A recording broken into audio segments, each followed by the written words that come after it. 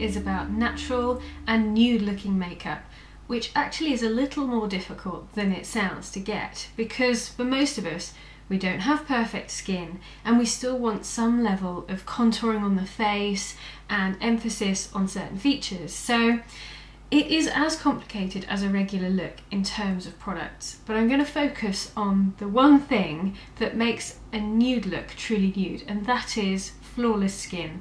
And your skin has to be flawless to pull this look off, simply because there is nothing else to take away um, the emphasis on any flaws you might have in your skin. Like I've got a few sort of blemishes, like under eye circles. If you're wearing other makeup, like a bold lipstick or lots of blusher or a bold eye look, that kind of detracts from your skin. So if you want to pull off this look, it's really key to look at your foundation and concealer. Always start your makeup routine with a good moisturiser. So let's say you're going to put your makeup on, you've got a few minutes. Um, so I've been using a really nice little, uh, let's see if I can get that into shot, a very nice day cream and it's by Fleur de Bach and it's basically an organic day cream which is packed full of aromatherapy and organic natural ingredients and it's beautiful. I'm going to pop that on the back of my hand because I've already moisturised this morning. I just want to show you how creamy, it doesn't feel oily but it is very rich so it's wonderful for this time of year when it's starting to get cold and horrible. And it just smells amazing, absolutely amazing. Floral but not heavy and my hands feel really nice so it makes very good hand cream as well. It's taken me a while to understand that my skin changes with the seasons and as I age. So the one foundation I may have used in my 20s doesn't suit me now. So at the moment I am favouring several foundations depending on my mood. But if I want full coverage for a flawless look, I am bound to use a combination of products. And I'm going to start with a good foundation. And this one is Face Atelier number 7. It's their Ultra Foundation in Tan and this is my base. I'm going to just give myself a nice sheer cover of this. It's fabulous. And it's 32 pounds uh, if you buy it from the Cocobeau website like I did. But you can buy a sample for a pound I think it is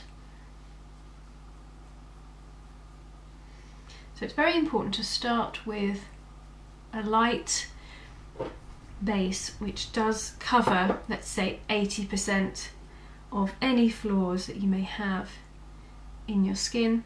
You can use a brush or a sponge, but this is just me, so I'm going to use my fingers.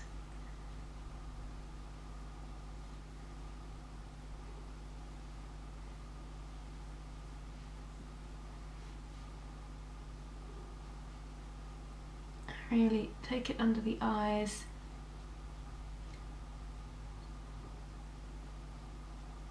I'm not going to take it over the eyes because I've got other products that will sort out the discoloration there. I'm just concentrating on under the eyes and down the sides of the nose.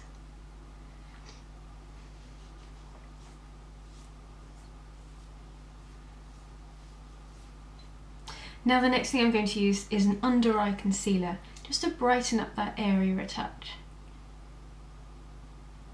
You can see just in the corners, we just want to add a little brightness.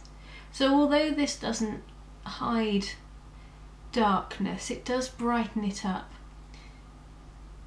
So I've already sort of done away with any darkness using my foundation and now I'm just brightening up that area. It's a foundation, um, a mineral foundation, because it's light, but it's packed full of pigment.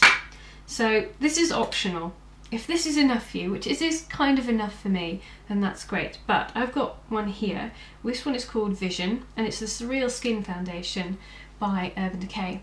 So I tend to place that just on the cheeks really, just to just add a bit more colour because no matter what foundation I use, it tends to leak the colour out of my face. So I kind of want to just pop a bit back. And minerals, bronzers are great for that. So you can see that's just made my skin feel and look a bit more natural. Now the next thing I'm going to do is my eyebrows and I'm going to keep this really natural by using my favourite pen and I'm not going to be too heavy handed. I'm just going to apply it and then brush it through. brush and then just brush it through so that it looks really natural and not too structured. All it's doing is filling in. That just gives me a little bit of extra.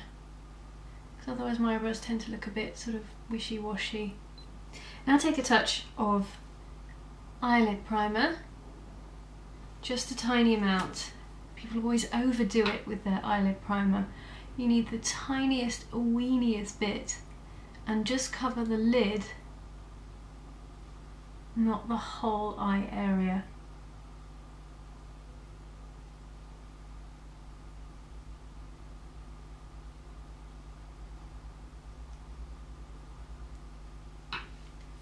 And you can see that's lightened up a lot of the discoloration so that's great now I've got a fairly neutral palette here I don't know what the colours are because I've had them for so long but in this palette I have a matte creamy colour, um, then I have a matte brown, a shimmery apricot colour and a matte grey.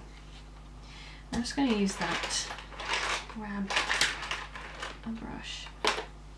I'm going to start with the matte cream which is our all over colour just all over the lid. It's brilliant. It locks down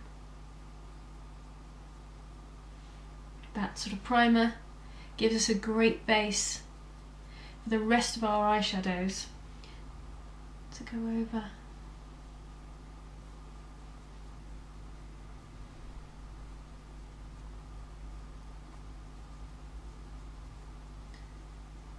There, that's just locked that down completely.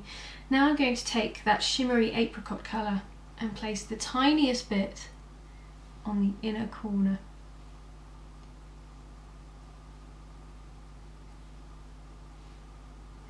a weeny bit under the brow, just in the middle. I tend not to go all the way out for a day look. Just under the high point of your brow, directly above your pupil.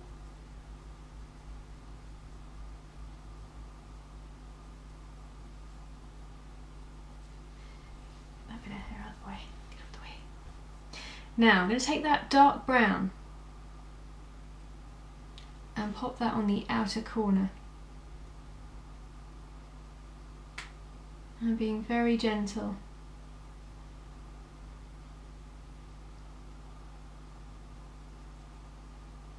Not very much, but enough to add a little bit of depth to the eyes.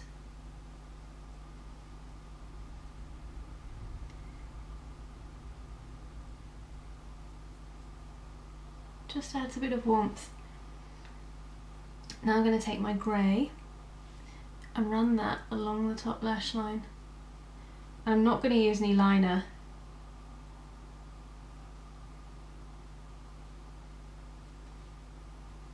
Just smooth that in. So there we've got that really natural shape. The only thing to do is take a touch of that brown and I'm going to work it into the crease.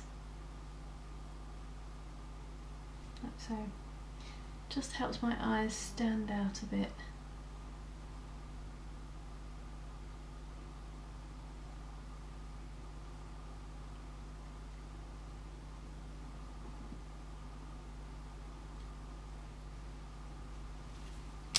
I grab a blender brush and just whip that all into shape. I'm going to apply a bit of a very natural looking blusher and it is this one. Yeah, you can see it is kind of a browny, it's definitely brown, but it has it's a chestnut colour. So if you think of conkers, um, horse chestnuts, it's that sort of colour and it's very, very good for this time of year and this sort of look. So I'm just going to grab a blusher brush and then pick on my face. I want to go into the hollows pretty much.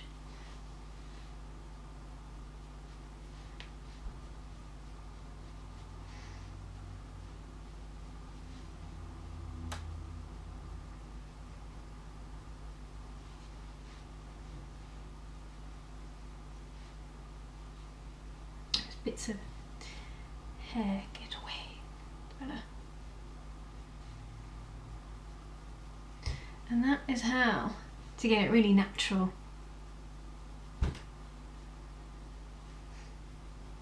So I'm using it almost as a contour and a blush, but it's doing a good job. Now over the lips, another brown. This look is all about brown, and this one is called Bare Brown, and it's a mineral lipstick by e.l.f. and it's superb for this because it's such a natural colour. But it will even out the pigmentation because I have dark bits and light bits on my lips.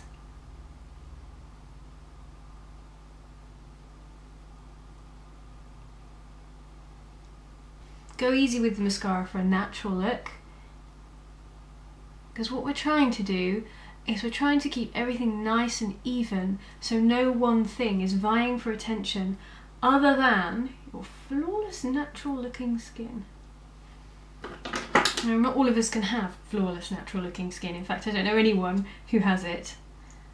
So I'm just going to use a regular mascara.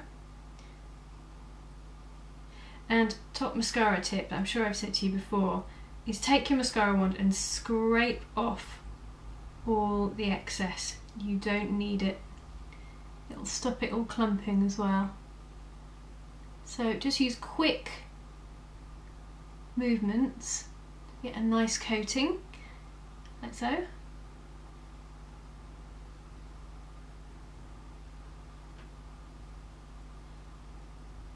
and sort of spread the lashes out so they look fresh and open.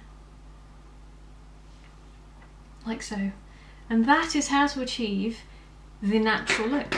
There weren't many products but most of them there are probably about 10 products there but half of them were for your your sort of skin and face rather than eyes and lips. So um, I hope you enjoyed that. Thanks for watching. Bye bye